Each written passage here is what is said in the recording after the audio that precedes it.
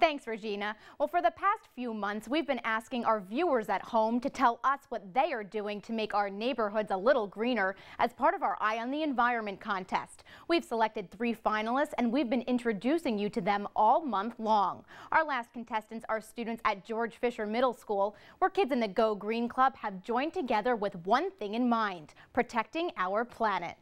T to the A to the K to the E, take that trash away. The Go Green Club at George Fischer Middle School in Carmel, New York has become contagious in the community, with students, faculty, and parents reducing, reusing, and recycling. All hands are on deck when it comes to protecting our planet. The Earth is in global warming. More people need to recycle. If the entire world recycled, our world would be a better place and we'd hopefully stop global warming. Seventh grader Alec Vossi is the brainchild of the Go Green movement.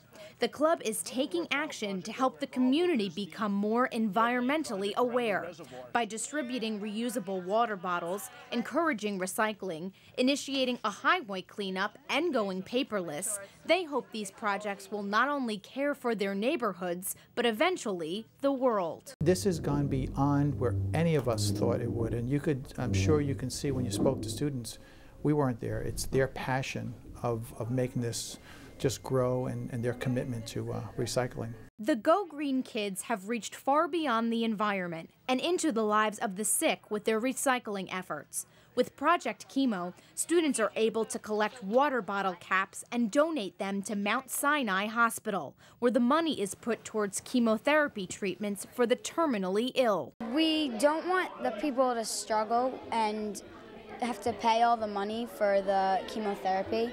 So by collecting the bottle caps and sending it to their hospital, it'll donate to um, get money for the chemo treatment. At George Fischer Middle School, saving the planet is a part of school every day. The students in Go Green started educating and improving their own habits and then spread the word to their families and their school. But their ultimate goal is to change the world. They are the generation that is coming up with this all of these ideas and they're the ones who are learning how much damage was done and they're the ones who are going to take this information and carry it when we aren't around anymore.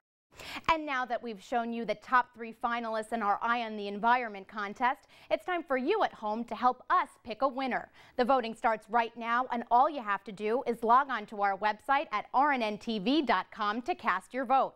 There you can check out all of the finalist segments and then vote for your favorite one. Voting lasts until midnight on Wednesday, May 5th, and we will announce our winner during Richard French Live on May 6th. So to all of our contestants, thanks for participating and good luck. Regina?